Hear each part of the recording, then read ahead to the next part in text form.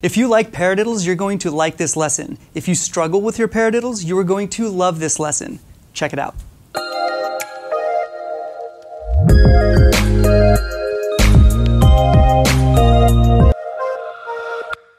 Hey, Kevin Prince from Drummer101.com, and I'm going to give you three tips to get better paradiddles. But first, hit that subscribe button down below and then click the link in the description. If you're new to drumming, head over to my website and sign up for the free lessons. There's a free reference guide that I send you lessons straight to your email. So be sure to check that out.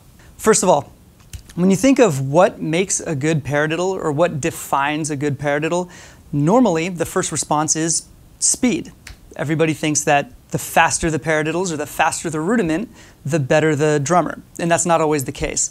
There are a couple factors that help define what a good paradiddle is, and there's a few steps that are going to help you get there, and I'm going to give those to you right now. The first one is practice the paradiddles along to music. Pick up your Bluetooth speaker or put on your headphones and listen to a song, typically in 4-4 time, preferably if you're just starting out, and listen for when that drummer hits the snare. That is where your two and four are going to line up with your left hand of your paradiddle, your left, right, left, left. So you count your quarter notes, one, two, three, four. That left accent is going to line up with beats two and four of the drum beat. So I got a song pulled up right here, and I'm going to pull it up and play along with it. Here we go.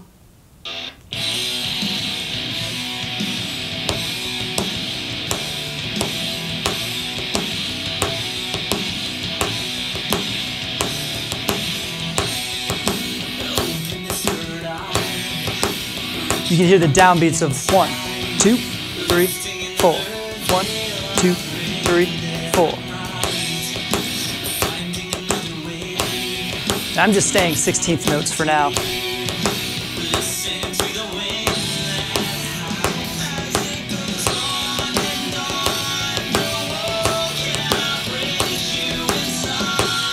Okay, so step one, practice your paradiddle along to music. That's to help you get a sense of what the paradiddle sounds like in the real world with music. Step two is dynamics. If you can play a paradiddle all one volume, that doesn't do any good because you're not getting any dynamic range from there. There's no, there's no storytelling within that rudiment. You're just getting a And also, if you can play it fast at one speed, then that's not going to do you any good either. And that might sound fine for some applications, but what I want you to do is play a paradiddle, but accent all your right hands and ghost note all your left hands. So your right hands are going to be loud, your left hands are going to be soft. So you'll get this.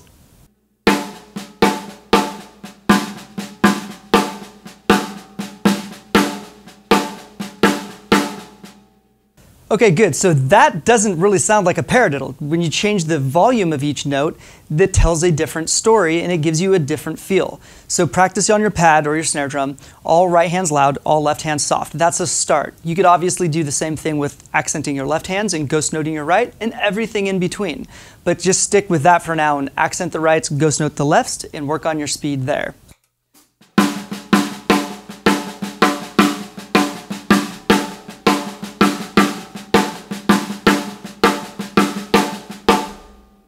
Okay, the third and the last thing I'm going to touch down on is movement. You can play it all in one spot, just like you can play it at one volume or one speed, and that's fine, but location around the drum set is also going to add to the story that your paradiddle tells. So if we were working on all the right hands being loud and left hands being soft, just move your right hand around to different surfaces and practice it slow.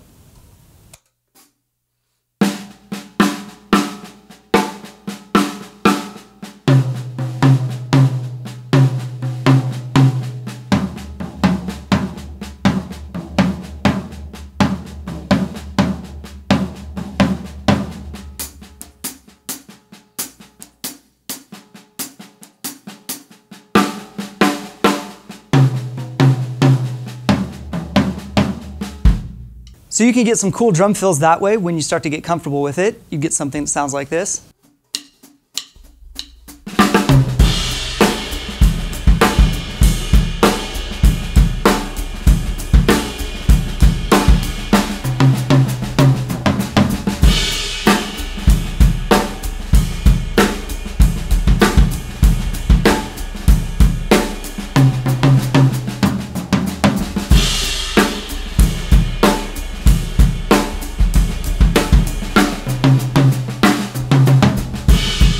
Okay, and the possibilities are endless with how creative and in depth you want to get with the movement and the dynamics. You can combine both of those and get creative with the combination of both of those, of movement and dynamics, and you can create your own style and your own sound.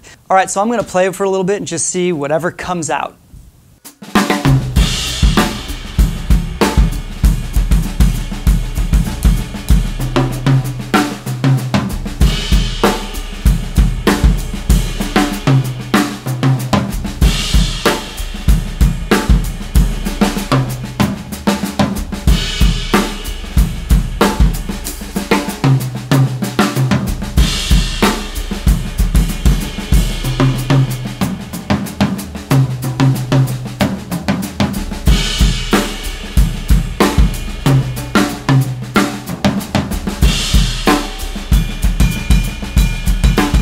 All right, so there it is. You have three different things you can think about when practicing your paradiddles and how you can make them sound and feel better.